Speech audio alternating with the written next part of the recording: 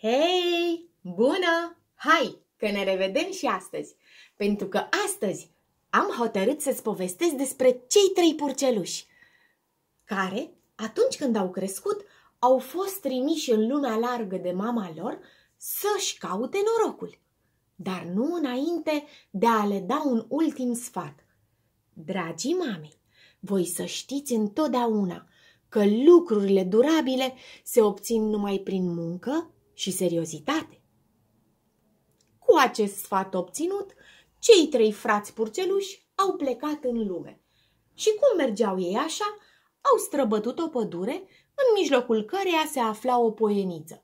O poieniță cu o iarbă verde, cu flori de toate culorile și parfumate, cu soarele care strălucea și îi încălzea deasupra, încât au uitat scopul pentru care au plecat de acasă. Au început să se joace și s-au jucat toată ziua până în seară, când și-au dat seama că n-au unde să se adăpostească. Au găsit cu greu o scorbură de copac și s-au îngrămădit unul în altul să le fie cald și să fie la adăpost de pericole până dimineață. Dimineață însă, când s-au trezit, fratele cel mare le-a spus Eu nu o să mă mai joc cu voi. Eu mă duc să-mi caut un loc potrivit pentru o casă. Uite, vine iarna. Trebuie să avem un adăpost. Ah, cum vine iarna? Tu nu vezi ce soare este deasupra noastră? Nici poveste. Bine, o să ne facem și noi o casă, dar nu o să muncim la fel ca tine. Zi și făcut. Fratele ce mare plecă și se apucă să-și construiască o casă. Între timp, fratele cel mic se gândi la materialele cu care să-și facă casa. Bine, eu o să-mi fac o casă din paie. O fac repede și am timp mult să mă joc. Își puse paiele unul, unul peste altul și își făcu o casă frumoasă, cu o ușă, cu un zăvor. Fratele cel mijlociu însă se gândi să-și facă o casă din altceva, din surcele. Hm, ia uite câte surcele am eu în jur aici, prin pădure, o să iau toate surcelele, o să le pun unele peste altele și o să-mi fac o casă. Zi și făcut. În două zile și-a terminat casa. Așa că fratele cel mic și fratele cel mijlociu am început iar să se joace. În tot acest timp însă, fratele cel mare construia. Într-o zi, pe când fratele cel mijlociu și fratele cel mic se jucau în poieniță nepăsători de ceea ce se întâmpla în jurul lor, Dintr-un tufiș sări un lup cu gura mare, gata să-i mănânce. Iuți de picior, cei doi purceluși fugiră la casa lor. Lupul pe urmele fratelui cel mic. Acesta intră în casa lui de paie, se zovor în casă și aștepta. La ușă, lupul începu să strige.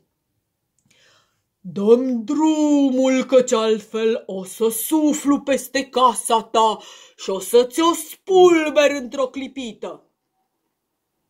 Pentru că purcelușul cel mic nu deschidea zăvorul, lupul trase aer adânc în piept și începu să sufle. Dar nici nu suflă bine că paiele se spulberară în toate direcțiile și purcelușul cel mic rămase fără acoperiș, fără pereți. Era descoperit. Norocul lui că era iute de picior și a zbuchit-o repede la fratele cel mijlociu. Acesta îi dădu repede drumul, închise ușa în urma lor și stăteau îngroziți așteptând să vadă ce, vi- ce zice lupul. Afară, lupul ajunse în dreptul ușii și începu să strige – să-mi dați drumul acum, căci altfel o să suflu și o să vă spulber casa voastră. Oh! Trase odată aer, oh! mai trase odată aer și începu să sufle cu putere.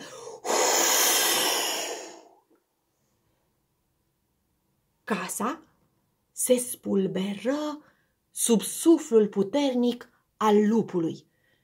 Cei doi frățiori se treziră fără acoperiș, fără pereți, fără ușă, față în față cu lupul. Începură repede să fugă la fratele cel mare care îi aștepta cu ușa deschisă. Intrară repede, închiseră ușa, traseră zăvorul și așteptau să vadă ce va face lupul. Între timp însă, fratele cel mare luase un ceaun mare și îl umplu cu apă și îl puse în soba în care ardea focul. Apa începu să clocotească.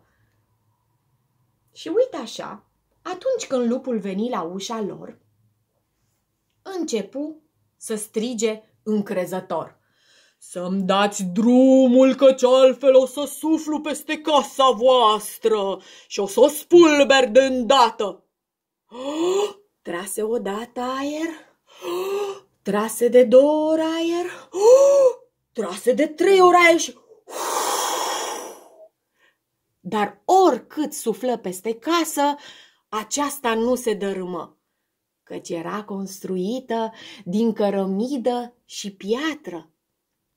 Îl luase leșinul pe lupul cel rău și casa tot nu s-a dărâmat. Dar stați, căci se uită sus și văzu hornul casei și se hotărâ să urce pe horn și să-și dea drumul și să pătrundă în casă să-i prindă pe cei trei purceluși. Zi și făcut. Se cățără pe ușă, își dădu drumul pe horn, dar ce să vezi, căzu exact în ceaunul plin cu apă clocotită. Au! Și puțâșni în sus ca o rachetă. Dispăru și nimeni n-a mai știut nimic de atunci de el. Iar cei trei purceluși au trăit fericiți până la adânci bătrâneți. Hei, aceasta a fost povestea mea despre faptul că lucrurile durabile se obțin numai prin muncă și seriozitate. Te pup și ne vedem și data viitoare!